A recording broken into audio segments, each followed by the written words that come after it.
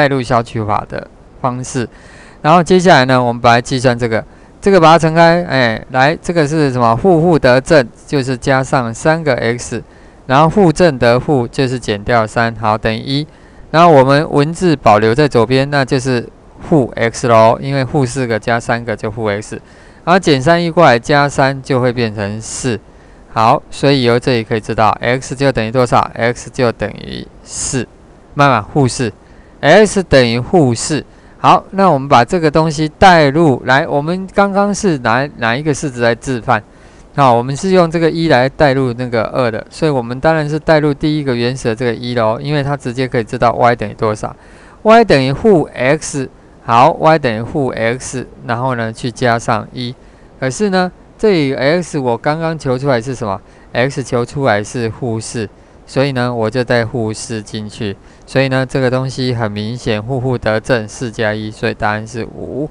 好，有这里我就可以来写最后的答案了。最后答案 a n s 好，我的 x 呢就等于负四，然后呢 y 就等于多少？五。好，这个是我们这一题的答案。哈。好，接下来我们来看到第六题。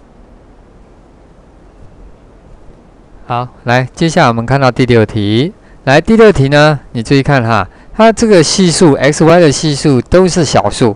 好，我刚刚也在别的题目有稍微提到，所以如果系数是小数，这个东西我们非常容难算，而且容易算错。所以我们先把系数变为整数。那怎么变为整数呢？反正整个式子可以乘上一个变数，把它。变大嘛，对不对？那我就是把第一个式子呢全部同乘十倍，那同乘十倍以后，它就会变成三 x，然后呢去减掉两倍的 y，然后呢等于六。好，再来第二个式子乘十倍是四 x，然后呢加上三倍的 y，等于多少？等于二十五。好，这个是两个式子，然后接下来呢，我们就把这个列为第一个式子，这个列为第二个式子。那这两个式子，我要消掉哪一个文字呢？一样，我们就用所谓的加减消去法。那我看系数的话，最小公倍数好像 y 变成六比较容易。那 y 要变成六 y，那这个要乘三倍，上面要乘三倍，这个乘两倍。所以第一个式子呢，我们就把它乘三倍。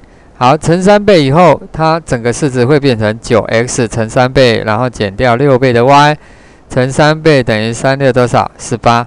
好，再来。第二个式子呢，我们就把它乘两倍。好，乘两倍以后呢，你会发现这个是八 s。好，八 s 呢，然后呢再加上什么六 y。好，等于多少？等于五十。好，同学注意看一下这两个式子。来，我们定为三跟四。结果这两个式子哪一个文字我们把它变成一样了呢？是把 y 变成一样。但是这个 y 变成一样，你有没有发现上下的嘿符号是异号？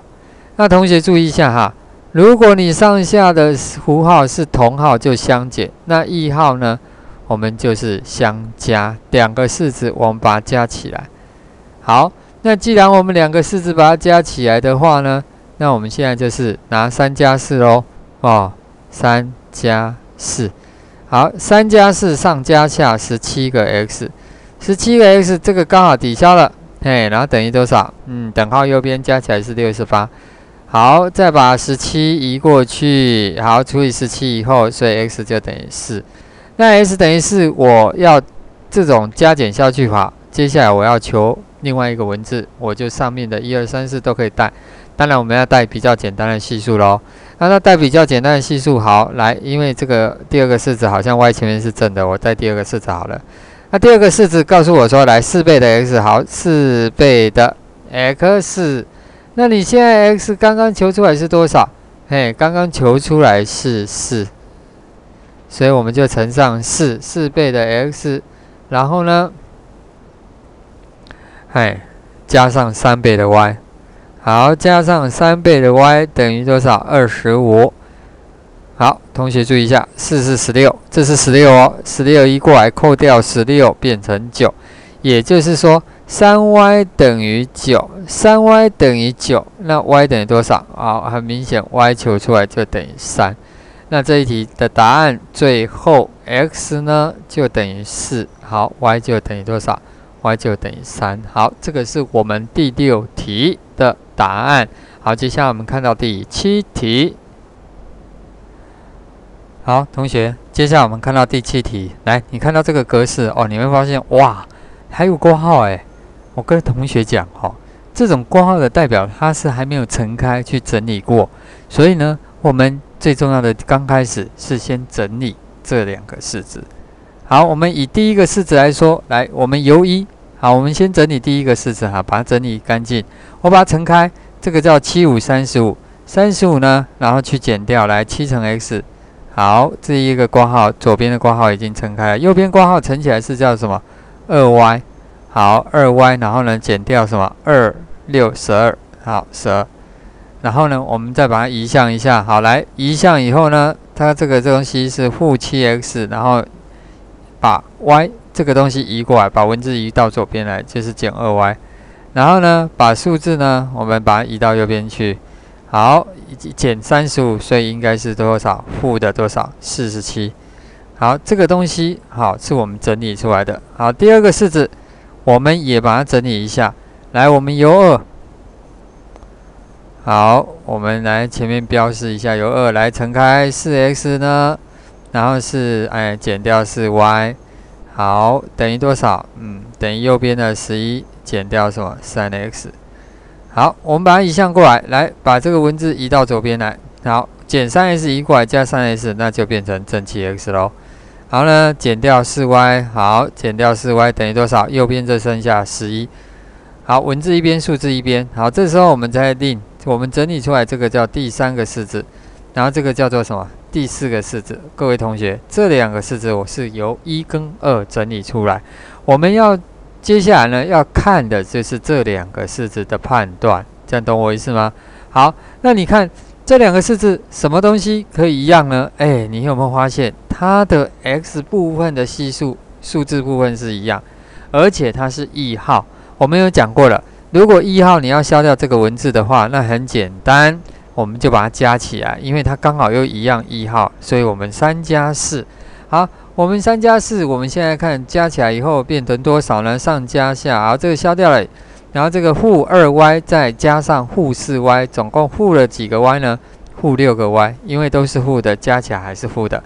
然后再来呢，后面这两个把它加起来一样，它还是负四十七，然后加上十一，可是加上十一以后，这个是互相抵消，就变成负多少？三十六。好，这时候呢，我们再把这个什么负六。还移过去，乘负六移过去除以负六，那右边的这个负三十六除以负六就负负得正，那就正六了。好，当我把 y 求出来以后，我要求 x 的话，来，我们找一个式子带。哎，一跟二还没整理过，不过你也可以带哈。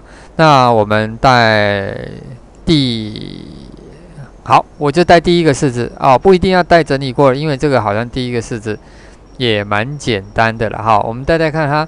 它第一个式子是七乘上什么五减 x，好五减 x，然后呢，它会等于多少？它会等于两倍的来 y 减六，那就是六减六。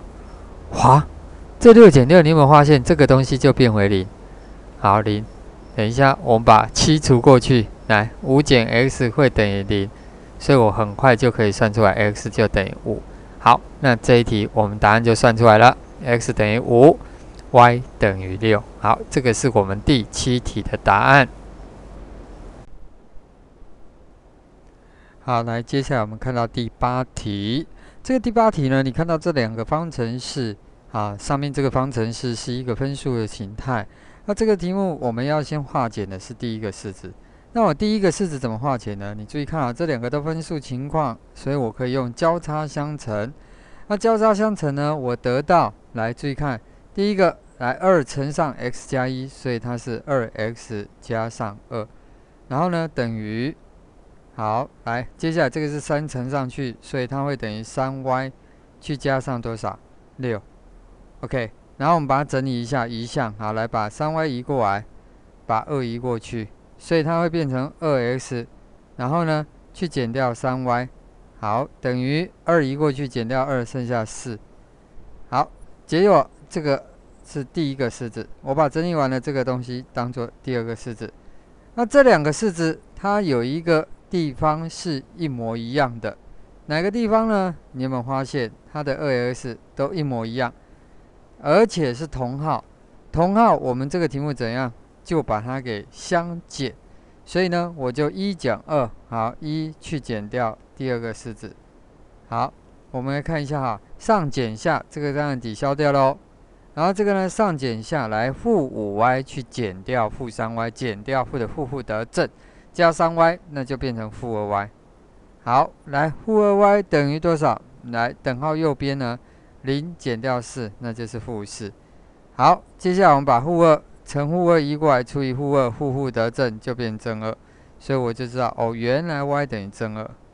好，y 等于正二呢，我要求 x，来，我上面有两个式子可以带，我们简单的带一个式子好了，我们把它带入第一个式子。那带入第一个式子以后，我发现一个现象，我把第一个式子来两倍的 x，然后呢去减掉五倍的 y，好，y 现在是求出来是二，所以五二得十，所以减掉十。会等于多少？零。然后呢，我把这个减十移项过来，等文字到右边来，啊不，数字到右边。所以二 s 呢会等于正十，所以 x 得等于多少？等于五。所以呢，我发现我第八题求出来的答案是 x 等于五，然后呢 y 等于嘿二。这个是我们第八题的答案。接下来我们来看第九题。好，我们现在看到第九题。第九题呢，它是三个啊，三个式子相等。三个式子相等这种题目怎么办？来，你记得，我们就两两相等，把它列一个方程式。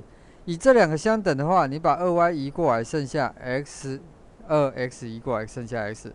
然后这个呢，加 y 移过来减 y 就变成减三 y。结果常数项会等于负十。好，这是前两个哈相等。那如果是后面这两个相等的话呢？你会发现它是二 x，然后呢，这个东西减三 y 移过来加三 y，那就变成加四 y，然后呢，这个移向过去，另外一边会等于四。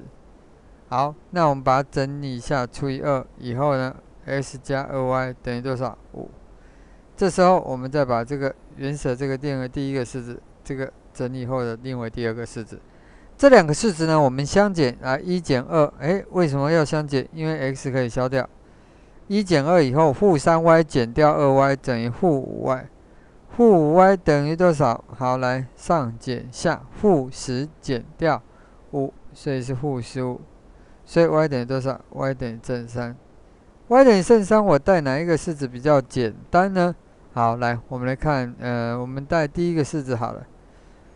第一个式子来，x 减掉三倍的 y，y 现在求出来是三，所以三三得九，然后会等于负十，然后减九移过来加九，所以 x 等于多少？负一。好，这个是我们的第九题。接下来我们看到第十题。